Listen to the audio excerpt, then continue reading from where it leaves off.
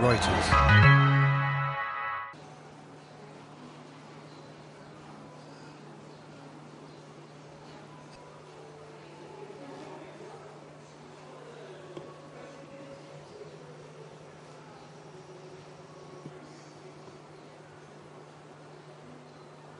یه چیزی داری یعنی یه طراح معمولا یه چیزی داره دیگه. حالا هر چقدر که محدودیت برات ایجاد کنم به هر حال تو یه کاری می‌کنی.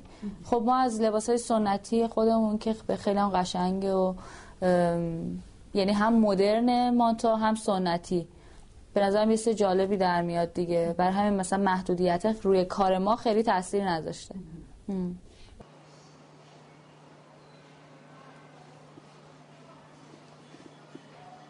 زیاد دنبال این هستم که ببینم الان چی مده الان چی کار می‌کنن نه اینکه تقلید کنم.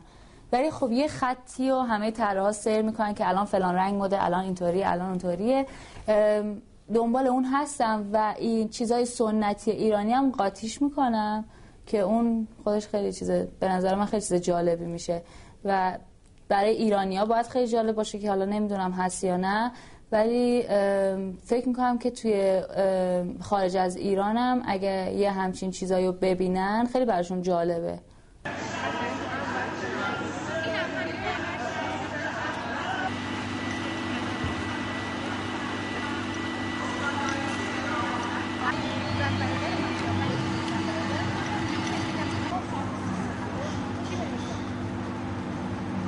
طراحیایی که امروزه میشه تو بازار هست نسبت به اینکه لباس ایرانی باشه اصلا قابل قبول نیست. اکثرا لباس های غربیه. یعنی ایده گرفته از لباس های اروپایی و غربیه.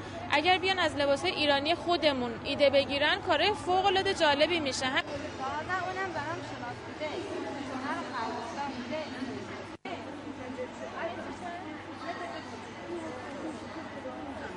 سعی بکنیم که واقعا رو لباسا کار کنیم. من مطمئنم که اروپایی اصلا به این سمت کشیده میشن ناخواسته